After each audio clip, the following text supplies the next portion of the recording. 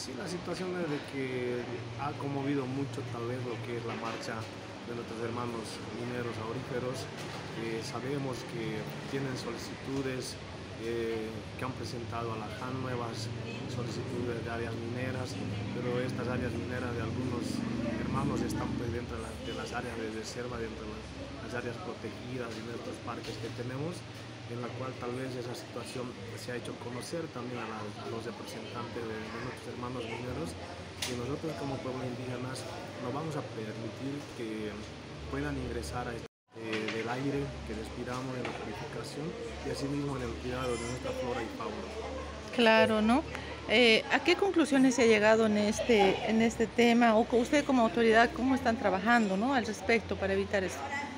Lo que queremos es concientizar y que se haga una situación clara de poder manejar siempre con el mayor cuidado desde ya nuestras experiencias que lo hemos vivido. Ya, ok.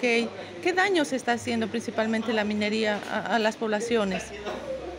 En algunos lugares sabemos que se ha hecho un daño eh, tal vez bastante, pero se ha tratado de remediar siempre van a saber, tal vez como pueblos indígenas, querer echar la responsabilidad todo tal vez mm. al tema de nuestros hermanos mineros, pero sin embargo eh, la situación no es así, ¿no?